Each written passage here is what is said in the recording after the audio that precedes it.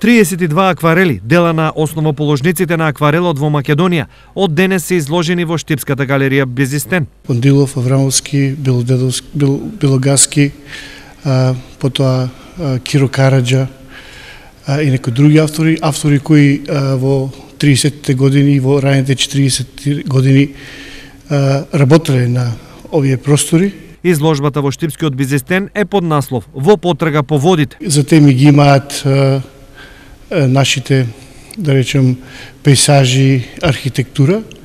Тоа е една навистина интересна изложба која ги представува врвот на акварелот во македонското сликарство. Свечено, изложбата ќе биде отворена утре во 12 часот, а љубителите на уметноста ќе имаат можност да ја посетат до 8 ноември.